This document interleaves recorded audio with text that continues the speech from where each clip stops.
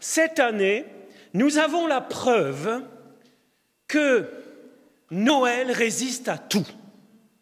C'est quand même quelque chose d'incroyable cette histoire. Et je ne pense pas que ce soit que pour l'aspect commercial c'est une véritable actualisation, c'est-à-dire que nous revivons le mystère. Jésus ne naît pas aujourd'hui, il est né il y a 2000 ans, il a grandi, comme je dis l'autre jour, il a grandi jusqu'à 33 ans, il est mort, il est ressuscité, il est vivant, il est au milieu de nous. il rentre dans la chair, il se fait chair dans le temps, dans l'espace, il est avec nous plus que jamais. Et le mystère continue parce que ce Jésus Yeshua, Dieu sauve, a un second prénom qui est Immanuel, Dieu avec nous.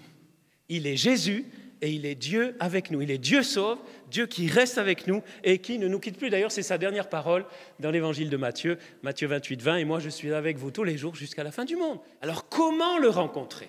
Et je crois que c'est une des grandes questions de Noël. Noël, c'est Dieu qui vient nous rencontrer, Dieu qui vient épouser l'humanité, Dieu qui vient pour moi, pour chacun. Comment moi je peux répondre? Comment je peux l'accueillir? Comment? Eh bien, en regardant, en suivant l'exemple de Marie et des bergers. Confiance, louange, adoration. Si nous suivons, si nous vivons cela, nous découvrons Jésus.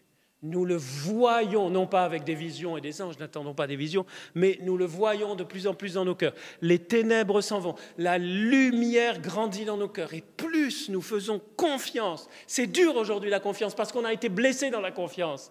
On fait plus confiance à personne souvent aujourd'hui, mais au Seigneur on peut, on peut. Il, ne nous a jamais déçus. Il n'a jamais déçu. En tout cas, le seul Seigneur que je connais, Père, Fils, Saint Esprit, le seul Dieu, je crois qu'il y en a. Moi, je suis persuadé qu'il n'y en a pas d'autre. Bon. Mais ce Dieu-là qui est amour, il n'a jamais déçu. On peut vraiment lui faire confiance sur parole. Et quand on lui fait confiance, alors on rentre dans la louange.